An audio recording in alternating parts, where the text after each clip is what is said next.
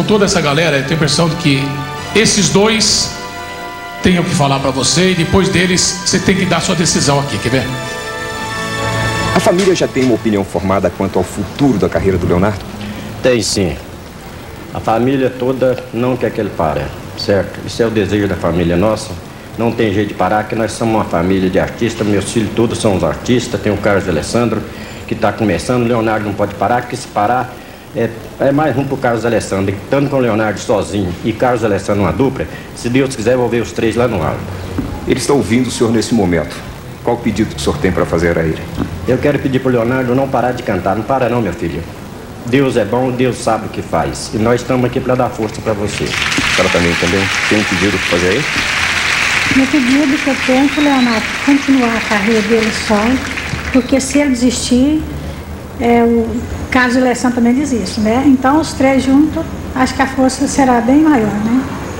A senhora prefere que ele continue sozinho ou forme uma dupla? Sozinho, só Deus ao lado dele. O senhor também tem uma opinião formada sobre esse assunto? Como diz minha esposa, só Deus ao lado dos três. Deus e público, né? Deus e o público que tanto adora ele, ele adora o público. É isso que a gente quer. Vocês acreditam que ele, vão, ele vai ter força para continuar? Eu acredito sim, o Leonardo é um menino de muita força. O Leonardo sofreu mais do que o pai e a mãe. Portanto, você vê tanta força que ele tem que ele não desiste. Ele chega na gente e fala assim, papai, eu quero que o senhor trate, papai, eu quero ver o senhor feliz, quero ver o senhor cantando, quero ver o senhor andando. Quer dizer, ele é um rapaz firme. Se depender da família, ele vai ter o apoio. Vai, se Deus quiser. E da família e do público, né? Que é muito grande e muito maravilhoso. É isso aí, meu filhão. Eu quero que você vá à frente. Se Deus quiser, será vencida essa luta sua. Se Deus quiser, é isso que meu papai e mamãe quer que você faça. Leonardo, continua sua carreira, meu filho. É isso que Deus marcou por vocês. Leandro foi uma estrela que brilhou aqui no mundo enquanto Deus quis. Agora está brilhando no céu. E você vai continuar brilhando. Você é uma estrela. Você é lindo, você é maravilhoso. Um beijo, mamãe. Dentro da simplicidade, esse casal, Dona Carmen e seu Avelino, sempre esse casal demonstrou essa fibra, a união da família. E justamente às vezes as famílias mais unidas, mais unidas e mais humildes, aqueles que não tiveram a chance de estudar ou de ter uma formação, uma, uma vida melhor, acabam passando muito mais educação, berço, dignidade para os filhos.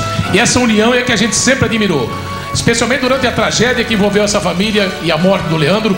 Esses dois, Dona Carmen e seu Avelino, conseguiram demonstrar uma força espiritual descomunal. Realmente incrível. Acho que tudo isso está sendo passado para você. Eu acho que realmente com tudo isso, essa união, acho que realmente a decisão tem que ser tomada e tem que to tocar a tua vida, meu. É, eu. A força de Deus, né, Faustão? De o nosso público, dos amigos, do, da música aí, da imprensa. A gente vai aí você vai continuar, com certeza você vai continuar cantando e você vai, eu acho que acima de tudo, a cada show teu, Leonardo, vai lembrar o teu irmão, sempre porque, olha, eu tenho, eu, dificilmente eu falo de coisas pessoais aqui, mas eu tenho que falar. O pouco que eu convivi, eu convivi razoavelmente com esses dois, a união, a amizade de dois irmãos nem sempre existe. Às vezes, muitas vezes tem um, dois amigos têm muito mais amizade afinidade que irmãos. Agora, esses dois, o Leandro e Leonardo têm uma afinidade fora do normal. Então eu imagino o sofrimento dele. A cada show que ele fez, tão logo morreu o Leandro, a, a cada vez que ele vai fazer uma determinada apresentação, a todo momento, ele estava dizendo agora aqui, toda noite ele sonha com o Leandro.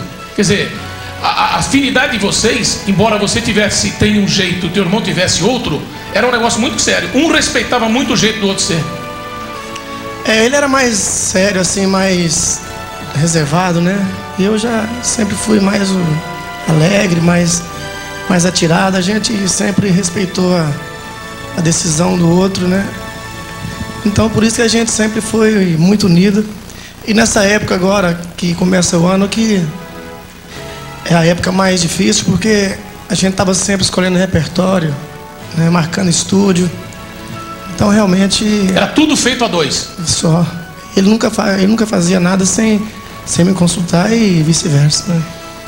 E por exemplo, agora nessa viagem, teve algum momento que você conseguiu, sabe, descansar e, e, e não viver essa, toda essa, essa, carga ou não? Em todo momento, tudo aquilo que você via de novo, você lembrava dele? Essa viagem teve os dois lados, né, Faustão? Serviu pra gente dar uma aliviada na cabeça, mas ao mesmo tempo também eu fui assistir novos shows e vendo shows eu ficava lembrando dele todo o tempo, porque ele poderia estar do meu lado, compartilhando com a coisa que eu estava gostando de ver. E a gente estava servindo para a gente trazer algumas ideias para a gente montar o nosso show aqui no Brasil, né? Serviu, foi boa viagem, mas realmente é, é chegando aqui no Brasil, é com a força de Deus, a força do nosso público, do, do pessoal da música, do meu, dos meus pais, da imprensa, vocês mesmo que estão tá dando essa força e a gente, com fé em Deus, vai chegar lá.